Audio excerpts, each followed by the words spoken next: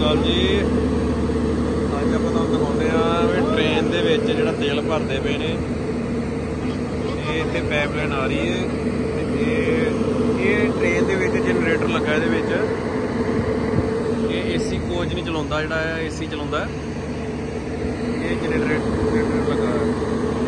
ਤੇ ਉਹਦੇ ਚੋਂ ਤੇਲ ਭਰ ਰਹੇ ਨੇ ਇਹਦੇ ਚ ਇੱਕ ਟੈਂਕੀ ਆ ਵੇ ਇੱਕ टैंकी हो गए ये इसमें कितना लीटर तेल आ जाता है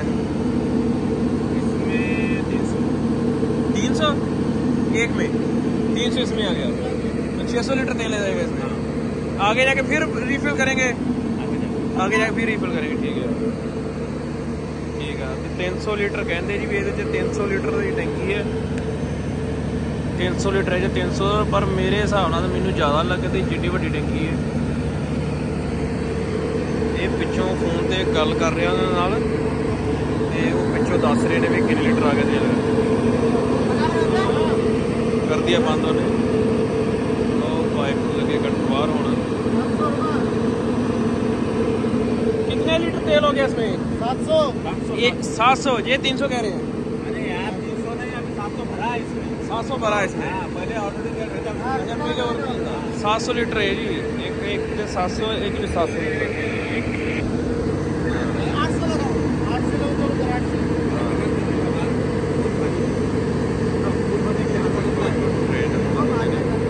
ਅਸੀਂ ਮਹਾਰਾਸ਼ਟਰ ਦੇ ਵਿੱਚ ਆ ਜੀ।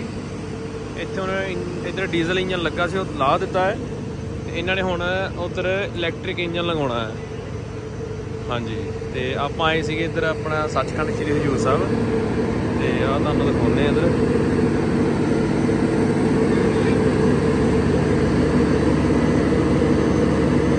ਮੇਨ ਜੀ ਇੱਧਰ। ਚਲੋ, ਕਰਦੇ ਆ ਜੀ ਫਿਰ ਗੱਲ। ਇਹ ਵਿੱਚ ਟੈਂਕੀਆਂ ਲੱਗੀਆਂ ਪਾਣੀ ਵਾਲੀਆਂ ਇਹ ਮੋਟਰਾਂ ਲੱਗੀਆਂ ਪਾਣੀ ਦਾ ਪ੍ਰੈਸ਼ਰ ਭੇਜਦੀਆਂ ਨੇ ਟਾਇਲਟ ਦੇ ਵਿੱਚ ਜਿਹੜੇ ਬਾਥਰੂਮ ਦੇ ਵਿੱਚ ਉਹਦੇ ਵਿੱਚ ਇਹਦੇ ਜਨਰੇਟਰ ਆ ਵੱਡਾ ਲੱਗਾ ਹੋਇਆ ਇਹ ਰੇਡੀਏਟਰ ਲੱਗੇ ਇਹਨਾਂ ਦੇ ਹਾਂਜੀ ਤੇਲ ਪਾਉਂਦੇ ਨੇ ਮੀਟਰ ਖਰਾਬ ਆ ਅੱਗੇ ਭਰ ਗਿਆ ਥੋੜਾ ਜਿਹਾ ਬਾਹਰ ਆ ਗਿਆ ਹੁਣ ਇਹ ਦੁਬਾਰਾ ਪਾਇਆ ਬਾਹਰ ਕੱਢ ਕੇ ਬਦਲੋ ये भैया लगा हुआ है बड़े जोर से लगा है खींच के खींच के ਬੰਦਾ ਬਣਾਇਆ ਤੇ ਦੱਬ ਕੇ ਵੀ ਬੰਦ ਕਰਨ ਆ ਵੇਖੋ ਜੀ ਛੱਡੇ ਮਾਰਦਾ ਹੁਣ। ਅੱਜ ਪੂਰੇ ਜੋਰਾਂ ਦੇ ਕੰਮ ਚੱਲਣ ਦਿਆ ਹੋਇਆ। ਆ ਗਿਆ ਭਰ ਗਈ ਭਰ ਗਈ ਟੈਂਕੀ ਭਰ ਗਈ ਭਰਦੇ ਭਰਦੇ ਭਰਦੇ ਪੂਰੀ ਉੱਤੇ ਤੱਕ ਲੱਗੋ ਲੱਗ ਵਰਤੋ ਵਰਤੋ ਵਰਤੋ। ਚਲੋ ਦੇਖਦੇ ਆ ਤੇ ਕਰਦੇ ਆ ਗੱਲਬਾਤ ਫਿਰ। ਬਹੁਤ ਬਹੁਤ ਧੰਨਵਾਦ ਜੁੜੇ ਰਹੋ ਨਾਲ ਮੇਰੇ